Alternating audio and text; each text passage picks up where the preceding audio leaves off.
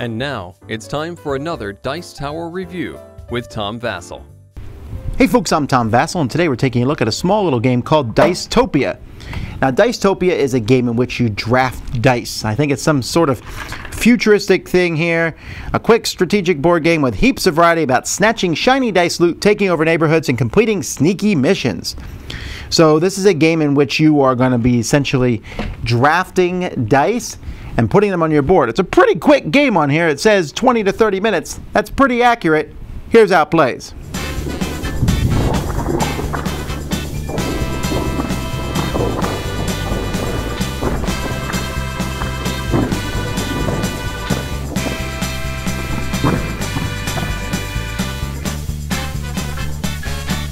Each player is going to get a little board that has all their agents on it here. There's going to be a bunch of purple, blue, and white dice that are rolled and put onto this board randomly. At the beginning of the game, each player is going to draw three mission cards and pick two of them to keep. You're then going to start the game. It's possible if you want to, you can play with one of these scenario cards, which will change your role to the game. Each player also has a special ability on the character that they've picked.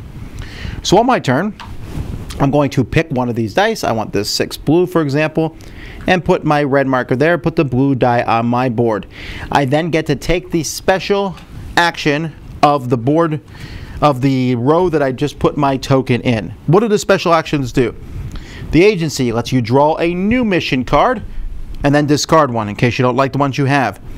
The Goo Goo Air Force here lets you re-roll a die anywhere on the board or on your faction board or someone else's faction board. The waste management lets you switch an agent here in a neighborhood with a die in another neighborhood. So I might say, oh, I'm going to go over here and put this like this.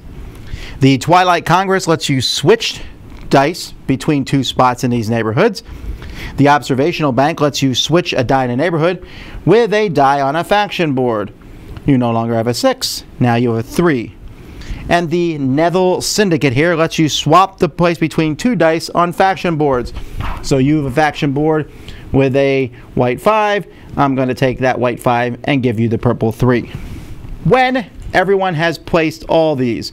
At that point, you will take a look at all the dice that you have gathered. You will add together their pips. That's going to be your score.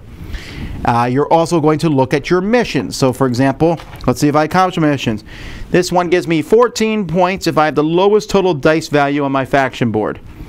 Let's pretend I did it. Nope. Four po points for each pair of dice values. Well, I have two twos, and I have two fours, and two fives. So this one here is worth 12 points. Nice. And eight if I have dice of all colors. I do. But I don't even know how I had three cards. I should have only had two anyway. So those are going to be added to your special, into your points at the end of the game. Then we're going to see who controls each of the neighborhoods. Whoever has the most agents in any particular neighborhood is going to get five points plus the value if there's any leftover dice in that neighborhood. So for example, this is 5 plus 6, that gives me 11. And whoever has the most points is the winner of the game. What's this? What's this? It's a really horrible board. Ah, this one goes from 1 to 10, then shoots over here. That's terrible. Let's look at the other side. Snaking my way through. Oh, neither one of those is good, and they both look like. Oh, I don't like that scoreboard at all. The artwork's okay, I guess. I mean, it's some futuristic artwork here, and it does tell you what they all do, so it's nice that each player has that. The mission cards make sense. The board itself, though, I don't know if you can see from here, but the white dice are pretty difficult to read. Underneath some of the dice it says four. That means if you're playing with less than four players, you wouldn't put a die in that particular spot. The components for this game are okay. They're, they have this dystopian future thing going on, but it's really dark, and the whole thing doesn't come across as very good components. They're, they're okay.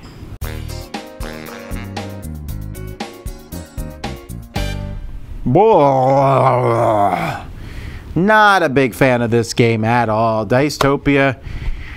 I like the concept of Dicetopia, and I was pretty excited about playing it, but there are several problems. One, the components, which I already showed you. Two, the missions. I have a big problem with the missions. Some of the missions are clearly better than others. For example, a die that gives you I think like seven points for every one that you get. Well, that's pretty good. Uh, I'll, I'll give me three ones and I just got 21 points. Now, granted, ones aren't that good to begin with. And then there's one that gives you 12 points if you have no ones. One of those is way easier for other players to mess up than the other. They also have this really weird thing. So uh, I think if you each one is worth nine points. I think that's how it worked, or maybe eight points, something like that. So they, they said the twos were worth seven, the threes are worth six. Okay, that makes sense. They all come together. The fives were worth four, and then the sixes were also worth four on that mission card. Why are sixes better than fives? Sixes, it just, I didn't like that. And then you mix that with those special abilities. So you're trying to control neighborhoods. That's interesting. So I'm going to pick a high die, hopefully, that helps me meet one of my missions, hopefully. And then I want to control that neighborhood, hopefully. And then the neighborhood says, switch any two dice. Switch these two things on the board. It's crazy. You're like, I'll do this. And now you no longer have that. Oh, great. I'm so glad I was working on that mission because you just messed it over. This is like a take that game, but with drafting. What?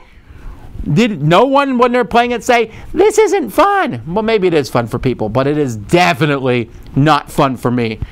Uh, the, the redeeming quality of this game is it's fast. But those missions, you get them, you're like, all right, I'll try to do these, and then hope someone else doesn't mess you up, because why would they not? If I can switch a die between your two players' boards, I'll gladly do so. I hope it messes you both up, because that's how I'm going to win if you don't accomplish your missions. The area controls also, because there's so few spots, you end up with so many ties all over the place. And the, the you're like, you get the points of the dice that are left over, but most of the time people are taking sixes and fives and fours anyway. It just felt like, ooh, here's an interesting idea, but it is not a good game. Then it looks kind of amateurish too, right? But I'm okay. You know, I can bypass that if there's a really cool game inside here. This seems like there's a beginning of a good idea. But that good idea is all there is. The game itself, not fun. Way too random. I want. I like the fact that there's area control and dice drafting. This is not how to combine the two of them. Dice Tower Judgment, super random.